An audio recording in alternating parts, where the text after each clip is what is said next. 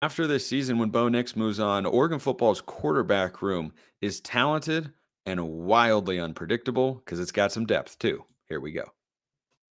You are Locked On Ducks, your daily podcast on the Oregon Ducks, part of the Locked On Podcast Network. Your team every day.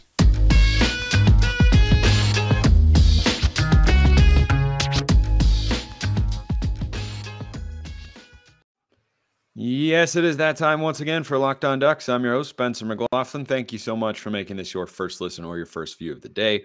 Part of the Locked On Podcast Network, your team every day, and your number one source to stay up to date with the Ducks. If you have not already, please like, comment, subscribe, rate, review wherever you listen to or watch this show. Today, on this beautiful, wonderful Friday, we got my man Max Torres of the Ducks Dish Podcast covering Oregon for Fan Nation at Sports Illustrated. He is tapped in on the recruiting trail. So we got some recruiting talk coming later the show as well because recruiting just doesn't stop and we never stop bringing Max on the show. My man, are we ready to absolutely rock and roll and send Oregon fans off into the weekend with a quality episode?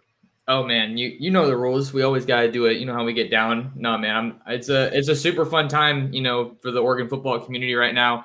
I was trying to tell people the run was coming, and I think we're in the midst of it right now, or at least it's kind of starting to kick off. So it's going to be a fun one.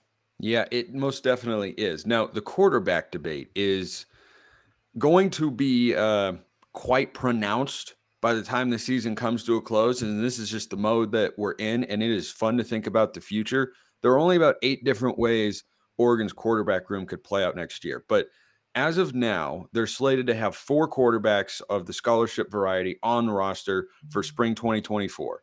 Ty Thompson, Austin Novosad currently on the roster, and then you've got Michael Van Buren and Luke Moga incoming next year. If I gave you a thousand dollars max to bet on who, maybe you'd use mm-hmm. FanDuel. Maybe if I give you a thousand dollars to bet on which of those guys would be most likely to be Oregon's starter one day, not necessarily in 2024, but be the full time starter one day for the Ducks, who would you target? Oh man, See, it's a really, really good question for sure. And let me just lay out some context so that people know kind of where my head's at with this. I think there's a couple things you have to look at, right? You have to look at the sample size, the sample that we have from Ty Thompson. He's the only one who's played any college football. Um, I mean, I guess you could also throw in Austin Novosad in the spring game, but you know, I don't think you can really count that for too much. So, um, and then you have Van Buren and Moga who who haven't played quarterback um, at the college level. Um, so it's it's a tough one to decide. I mean, Oregon starter at some point. Um, God, this is you really can kind of make a case for any of them. No, you you definitely could. I just feel like we haven't seen enough. I feel like Novosad and Ty have to be the most likely options, just because they're the oldest and we've seen the most of them. Um, the, the thing is, you know, I feel like I kind of say the same thing about Thompson when I see him, and and I and I don't, or every time I get asked about him, and I don't want it to come off like I'm not a fan of of Ty's or anything. You know, it's just look at what we've seen from him. It looks the same every time, and, and I think that some of the some of what I've been hearing is that it's still the case. You know, he still doesn't necessarily have that that processing speed and, and the composure that you you'd want to see in, in your starting quarterback and you just kind of wonder, you know, h- how long of a leash do you kind of give him? You know, when do you when, when is he going to be that guy if if he is going to be that guy at Oregon? You know, all the respect to him for sticking around at such a with so much scrutiny, you know, and everyone's like, well, he was a former five star. Like, when's it going to happen? You know, I'm not trying to come off like super critical of him. So I just wanted to make sure I put that out there. But then, you know, Novosad, I think he's a really talented passer, but we just haven't seen too much. So I'm, I'm kind of stalling, just trying to think about what answer makes the most sense because it's a really, really hard question. Um, I, I kind of feel. I, okay, hold on. Let, let, let, me cut you off there because I, I think that the fact that it's this hard to answer is indicative of what the answer actually is, which is you don't actually know. Like there, like there's no clarity. There is no distinct, clear airtight future at the quarterback position in terms of which of these guys could be the starter. Because I could make the case for all of them, right? Moga could play the long game. A guy or two transfers out, and he's the starter in two years. Novosad could leap Ty Thompson on the depth chart next year. Van Buren could, you know, be a 2025 sort of guy if they, you know, maybe bring someone in via the portal for for next year. I, I think that there isn't necessarily one guy that that stands out as the most likely to start because I think they all have a case, but I don't think any of their cases are, are necessarily airtight right now.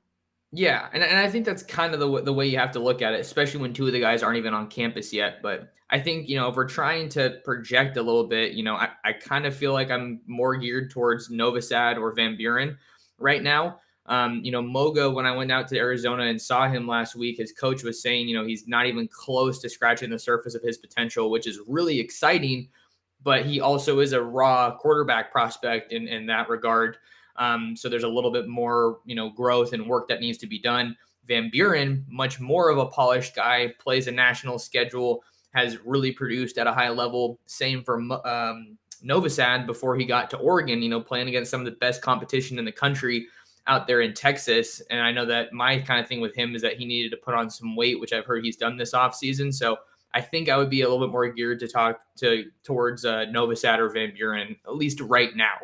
Yeah, my, my brutal Final Jeopardy style question here for you stems from a, a question that came in from uh, Nick, by the way, who's got another question we're going to answer here on the show. You can always get in the mailbag, as everydayers know, YouTube comments or hit me up on Twitter at smalls underscore 55 or at locked on ducks. So, kind of uh, reframing that discussion, Max, a bit, Nick asks, of the three new quarterbacks, who do you see based on what you've heard and seen having the most upside? I see Austin Novosad as having the tools and having what it takes between the ears, but strongly lacking the physique at this stage, like you were talking about. I see Van Buren as having the talent and maturity, but lacking some between the ears from what I've heard about his decision making. That was part of the Andrew Ivins scouting report on 24 7. As for Moga, I see lots of raw talent, but a lot to work with. Sorry, so long. Don't even worry about sharing too many thoughts around here. We love hearing from all of you out there. So he's looking at the three new quarterbacks, right? Novosad, Van Buren, and Moga, who haven't taken a college snap yet. So if you remove Ty Thompson and say who's got the most upside, I think the answer is Van Buren. I, I think he's got that blend of arm talent and athleticism that the other two maybe don't, right? You could maybe look at Novosad and say he's one of the better arm talents of uh, of the three. Moga might be the best raw athlete of the three. But Van Buren, I think, has the potential to be that blend, and I think he presents the the greatest upside of the three, removing Ty Thompson from from that from that calculation. What do you think? Uh, I'm gonna go with Moga. I, th- I think he has the the most upside of those three guys, and I think a big part of it is because of the athleticism element that that you alluded to. Um, you know, Moga, his 2022 season was his first full time season as the starting quarterback at Sunnyslope. Uh, he kind of had an interesting little story. You know, when he was uh, you know playing high school ball, didn't play tackle football until high school. Uh, an interesting little wrinkle there. Um, you know, tidbit. But you know, he played some wide receiver, played some running back, and and I think that just getting to pick his brain and just seeing how there he is, just how composed and locked in he is, you know, definitely just a really tremendous leader. You know, he's he's the kind of guy that everybody on that team rallies around. And you know, I remember at practice they were like, you know, moving between drills and stuff, and like, you know, he was kind of barking out stuff like, "Oh, go around us," or like, "Come on, like let's get the energy up." So I think that's another part which I guess doesn't factor into the upside, but just seeing the way that he can move is just really unique, I think, to some of the other quarterbacks in this class. And I think if if he can get the mechanics and you know the production there a bit more um you know a, a decent bit more i think that he kind of has the the upside just when you see how he can throw off platform and you can see how he can improvise i feel like his game of the three quarterbacks is probably the best suited towards the direction of college football and where it's going just having a quarterback that can do so many different things and um, I think part of that too, if you're also just looking at the um, upside at Oregon specifically, he was telling me about, and I, I, I told him that his game kind of reminds me a little bit of Bo Nix. And he was saying that was part of the staff's major selling point when they were recruiting him was, you know, look at what we did with Bo. We see a lot of, you know, similarities in your game. So I think that, uh, I, I think long answer, I'm going to say Moga just for, I mean, you maybe don't see it right now, but I think you see enough of the signs there to kind of see why Will Stein and the staff were so heavily interested and why they made him a priority and why they made him one of their guys. Yeah, so let it be known that in the age of uh, social media, because I chose Van Buren and you chose Moga, we now both can't stand Austin Novosad. We think he stinks forever and always. Of course, that is uh, a facetious remark on my part because that's not the case. But I like your answer. That was very, very well reasoned. And I want your reaction too to the latest run of recruiting momentum, which you did hint at a while back on the show. You're like, hey, I think think some stuff might be coming here, and your next order of bird dogs might be coming your way as well because they look great. They make you feel great as well. They are super comfortable, and their versatility is perhaps their greatest quality. You can wear them going for a swim. You can wear them out on a summer day. You can wear them on a hike. You can wear them on a walk. They are meant to be the perfect summer shorts. So go get your next order of bird dogs right now. Heck, you can wear them if you want to go out on a date. Max has got a girlfriend and maybe he wants to go out there and look really good. Bird dog shorts, easiest way to do just that. Go to birddogs.com slash locked on college. When you enter the promo code locked on college, they throw in a free custom bird dogs Yeti style tumbler with every single order. They got tons of great stuff and their shorts are amazing. So birddogs.com slash locked on college, promo code locked on college, get a free custom bird dogs Yeti style tumbler with every order.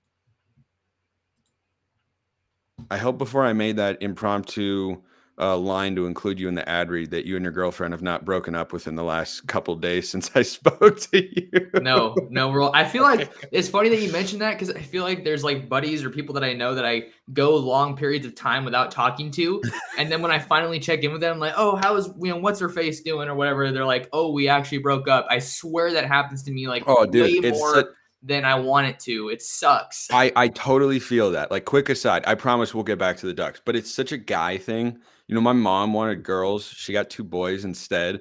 The reason she wanted girls is they actually like talk about that sort of stuff. My mom will ask me all the time, like, "Hey, how's so and so doing?" And I'm like, "Who? Uh, fine, fine. You know, he's doing fine. Well, you don't talk to him anymore? No, we just like we we we we talk when we feel like talking, which is like every couple months. Yeah, you know, like one of one of my closest friends in the world. I talk to him like I don't know, once a week maybe. And there are other people I talk to every day. It, it's definitely it's definitely a guy thing. Curious as your guys' thoughts on that, by the way. So drop them in the YouTube comments. Okay, let's get back to Oregon football here. So the recruiting momentum has been palpable, Max. And you felt that a wave might be coming. It definitely did. Van Buren, Zadavian Sims, now Dylan Gresham, the wide receiver. What's kind of your your big takeaway reaction to to what Dan Lanning and his staff have been doing? Just just racking up the blue chips here in May of 2023. Yeah, I think that this recruiting run is really happening at just the right time. And I think with arguably just the right players. Um, you know, I think the more that I cover this team and, you know, try to get tapped in, you, know, you can kind of see some stuff coming, which is exciting. Um, you know, you, you got to look at what Oregon's doing right now heading into the summer months. You know, guys are finishing school, hitting the road for OVs, uh, you know, end of this month, early next month. Uh, and Oregon's already heading into the summer with quarterback figured out, got a couple of uh, offensive linemen, got a big time defensive, two def- big time defensive linemen. You know, Tioni Gray out in Missouri, Zadavian Sims out in Oklahoma. They're going national, which is what you have to do if you're a program like Oregon and you want to make some serious noise on the recruiting trail. You got to go outside your state. So I think they're checking all those boxes. And then, you know, just while all that's happening, they're still doing so, so much behind the scenes. You know, Michael Van Buren and Zadavian Sims stole the headlines, stole the show on Saturday during the weekend. But what was going on behind the scenes? You had a trio of really talented players from Mater Dei on campus for visits. Five star defensive lineman, Aiden Breland, just put the Ducks in his top 10. Five star offensive tackle, Brandon Baker. He's coming back for an official visit in June after being on campus for the spring game. He told me that that spring game visit left him wanting more. So what did he do? He made it back out to Eugene. Um, so all that was going on behind the scenes. And then you also have Fox Crader, Oregon's offensive line, another Oregon offensive line commit who's been taking a bunch of trips. They got him back on campus, try to get him to maybe slow things down a little bit after checking out a bunch of schools. So there's just so much going on, and and they're in the mix for so many guys. Um, I think that now Oregon's uh, kind of going to find themselves in the position of you know are they doing too well recruiting some guys? You know, are they going to have to maybe turn some guys away in the 2024 class because um, you know they have all this momentum? Guys are going to want to hop in, but um, you know, at the end of the day, you maybe have to play the long game with some guys. You know, Brandon Baker has told me a bunch of times he's looking at December as a commitment time frame, but every time I talk to him, Oregon seems like they're creeping up there, and I feel pretty confident saying that they lead now. So you got to kind of just manage the timeline, you know, getting out on the road, seeing guys. The coaches are all over the country. That's another thing you have to think about, Spencer. So my reaction to it is that it's exactly what Oregon needed, and I love where they're sitting heading into the summer. Yeah, I, I think the momentum has just been really, really positive and starting to get not just four star guys, but top 100, top 150 players, which is an even more important recruiting benchmark for not just raising your rankings, but also, you know, building the sort of roster that you need to win at the level that that we'd like Oregon to. I want to transition into uh, another mailbag question. Again, YouTube comments or on Twitter, hit me up anytime. Get a question answer here on the show. This guy's an everydayer. His name, of course, is Blazer Duck. One of the best, probably the number one question answer here at uh, at Locked On Ducks. We appreciate. So he asks Spencer, Oregon just landed four-star quarterback Michael Van Buren, four-star defensive lineman Zadavian Sims. Both players ranked inside the top 130. Do you believe Oregon's 2024 class is going to be the best in program history? Do you believe that Dan Lanning and the coaching staff will make this new the new norm each year, pushing for the best class in program history, the way they recruit? Love the show. Keep up the great work. So, I'll answer this first. I think the mindset is pretty clear. Like Lanning understands that recruiting is the lifeblood of your program. And if you're going to win at a high level, you have to recruit at a high level. He's made that evident, and his entire staff understands that. I think they've all been in that sort of mentality from the moment they got to Eugene, right? You go back to the 2022 class, and you know, Mario Cristobal left and lost a bunch of players and whatnot. And we walked away with the number one offensive tackle who's probably going to start at left tackle this year in Josh Conerly, right? And that was a last second, just kind of get it together sort of thing. So I think their their ceiling is certainly to push for the best class in program history, but I do wonder, you know, whether they can sustain it at this level year after year because we've seen Mario, you know, push Oregon's recruiting to levels that it never has been before. But what Lanning is certainly striving for, it seems, and time will tell whether or not he can attain this, is is there another gear, right? Mario reframed what the ceiling was for Oregon recruiting. Lanning is now going to answer the question is there another level to it? And, and I think the early returns are there's potential for it. Absolutely. I wouldn't guarantee it because recruiting is a highly competitive and, and difficult world. But Oregon, though they don't have a bunch of talent in their backyard, as we all know, they have got the money, they have got the resources, they have got the staff, and they have got the brand to go to a really, really high level on on the recruiting front. And if Lanning sticks around for you know five, six years with the Ducks and, and the staff remains mostly the same, you're gonna have some turnover, of course, if if you continue to win, which I expect them to then they are going to be able to recruit at a really, really high level. I don't think you can guarantee one way or the other, but I think that's not necessarily what they're striving for because they want to have that title, but I think that's just what they're striving for because that's the standard that Dan Lanning knows, right? The the Alabama, the Georgia background, like that's what he has seen work, and I think that's the sort of mentality and approach that he's bringing to the Ducks. Yeah, Spencer, when you were listing off, you know, all the reasons that Oregon, you know, is a, a contending recruiting power nationally, I was like, I'm waiting for the brand. That's got to be something that he that he lists off on those bullets, and of course, you you hit on it. Um, so yeah, I think okay. So it was a kind of a two part question, right? About 2024 being the best in program yeah. history, and then trying to kind of match that each yeah, year. Yeah, and are they are they going to just continually try to to raise the bar, right? If they get the best class this year, are they going to try and up that the next year? And and I think the way that they are approaching it and the way that they are succeeding as well leads me to believe that they do have that growth mentality of we're going to do well this year and we want to do better next year and then better the next year and that's what they're going to at least be striving for. Yeah no for sure. I mean so for the first part i i had a show uh like a week and a half ago or something like you know answering that very question. I think this 2024 class is going to be the best in program history um very confident saying that right now uh you know in may um but i think that's going to happen you know with with some of the people that I've talked to around Eugene, some of them were in the building uh, when Mario Cristobal was there. And the thing that I'm like, we all knew, we all know about the energy that Mario Cristobal attacks the recruiting trail with. Like Dan Lanning's different it's it's exceeding that. It's a different type of energy, um, which is kind of insane to say because you know when we got to know Mario and his approach, it was you know attacking the trail with like a relentless energy, you know what what have you. But he he saw everything that Mario did. I think he's doing that and then some. And you add in the NIL stuff, and you add in the transfer portal and how was leveraging that to kind of fill in some of the gaps. You know, maybe you miss on a couple guys. Oregon only signed one linebacker in 23, Jerry Mixon from the high school ranks. So what does he do? Gets Justin Jacobs, gets Connor Soelle out of the portal.